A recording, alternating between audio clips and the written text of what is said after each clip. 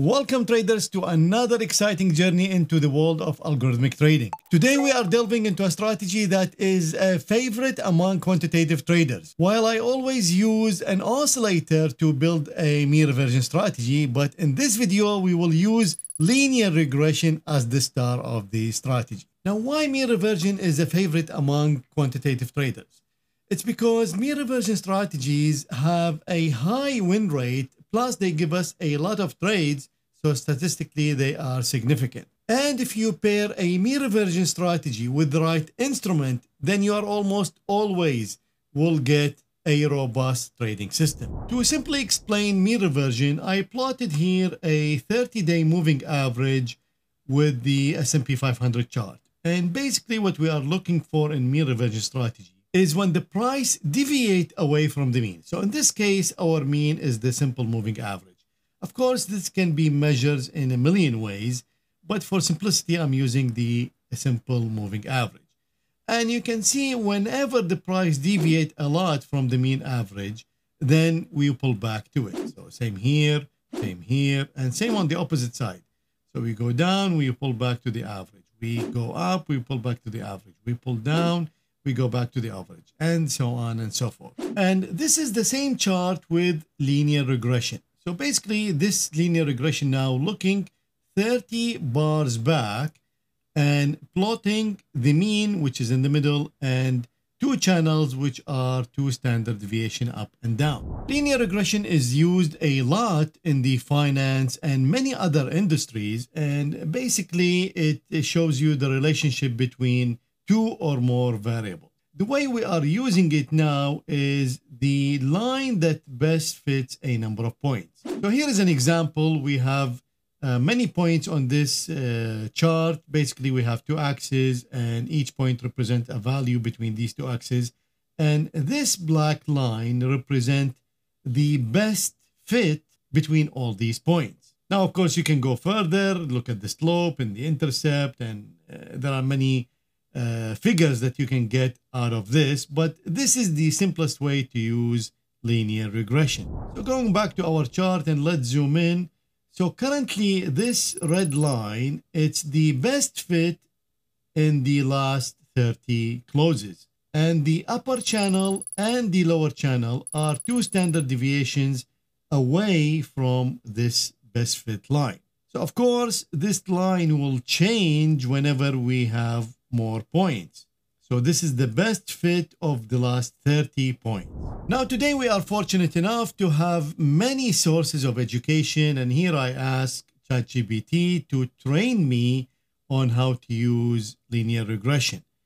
And it went along and gave me everything. And in fact, you can expand on each point if you want to learn more.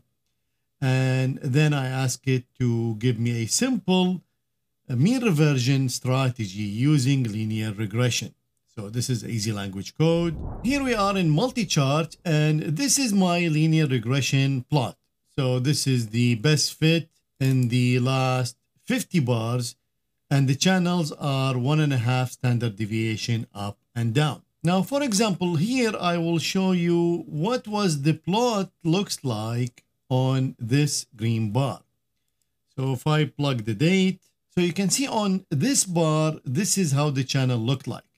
Now the channel plots forward, but I just want to show you that the plots will change, of course, with every new point. Now, sometimes it doesn't because the best fit line between these points might not have changed. And sometimes it changed a little bit and sometimes it changed a lot. And the idea behind using linear regression as a mean reversion strategy is because of these channels.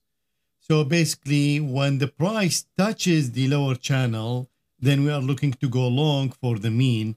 And when the price touches the upper channel, we're looking to go short to get back to the mean.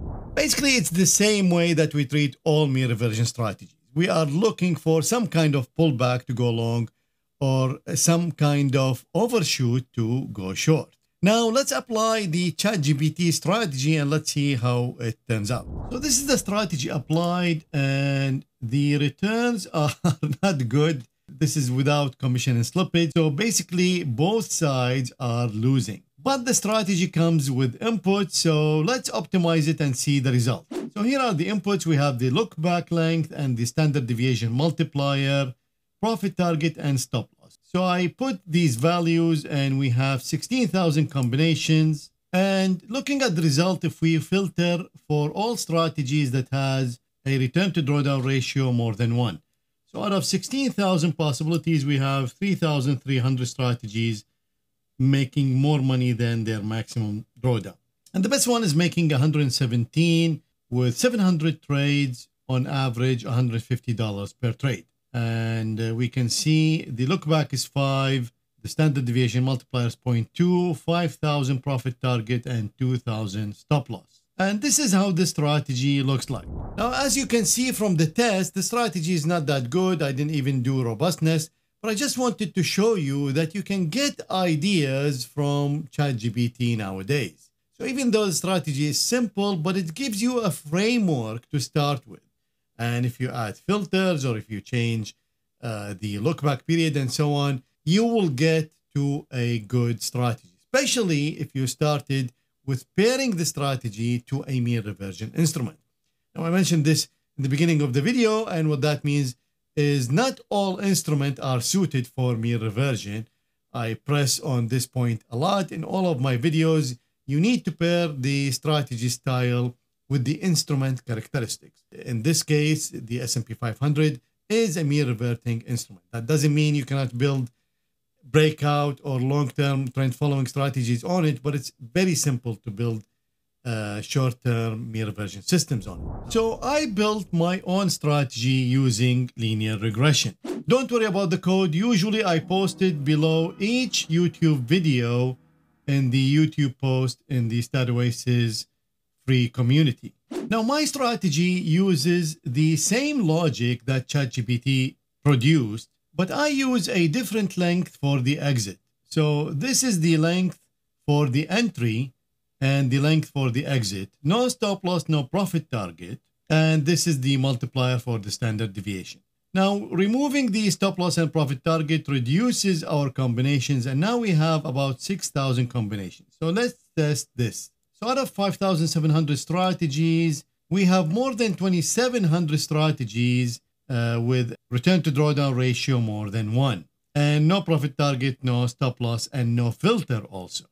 So that is very good. And if we sort by net profit, and now we are above $200,000 for the top strategy and more than 40 strategies above 150,000. Now, if I look at the top strategy here, this is the equity curve and we can see number of trades 188.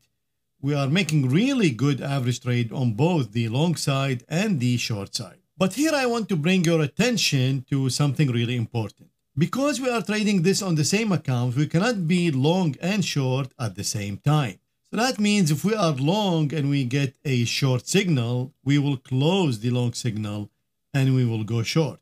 And of course, the opposite is true. So this means that we are not getting the exact number of long trades and short trades because they overlap. And when they overlap, they cancel each other. And the right way to test this is to separate the long from the short.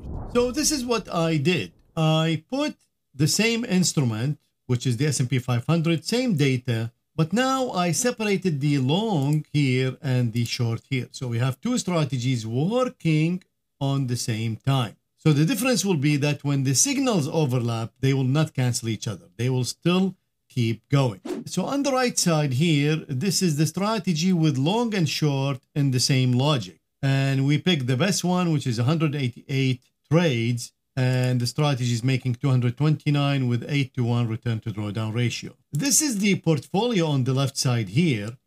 And each strategy is working on its own. And I can show you this. So this is the correlation based on daily equity. And we can see that we are negatively correlated at almost half. That means that half of the time, while one strategy is making money, the other one is losing money. And of course, that is a huge advantage. And we can see this in the number of trades. So for example, here, let's compare the trades. 188, here we have 350. Now, if we look at the performance summary for both, you can see this one is $230,000 almost, and this one is $291,000, but still keeping the same return to drawdown ratio. So we increase our net profit a lot while keeping the drawdown in the same ratio. So that is very good. If we go to the annual period analysis, you can see that since 2006, we had six years losing money in the strategy that has both long and short logic in the same system. While when trading the strategies separately, even though it's the same logic, but trading them separately, you can see we have only one year losing money. Actually, it's two because there's no slippage on commissions. So this is also uh, will be a losing year. So two instead of six. But also notice the number of trades. So here it's almost always 20 something, and here they are all in the teens. And especially this year, we have eight trades here and 18 trades here. And finally, we look at the curve, and you can see how this curve is doing nothing from uh, almost 2009 till 2018, while this curve is sloping up all the time. And while sloping up all the time, we didn't lose this huge jump since 2019. So you can see here since 2019, it's exactly the same jump. In fact, if anything, we made more money. The key takeaways here is there are a million ways to build a mean reversion strategy. But like I always say this with my students, with my Q&A sessions, in the chat segment of the community, everywhere with everybody I meet, always match the strategy style with the instrument. Always test long and short separately. And if you want to combine them, you have to combine them in a separate account or in an account that lets you trade both directions at the same way because most brokers will not let you do this, trading long and short at the same time.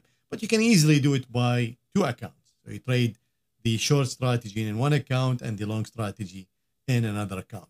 The advantages are big and you cannot neglect that. The other big takeaway is any indicator can be used in any way you like.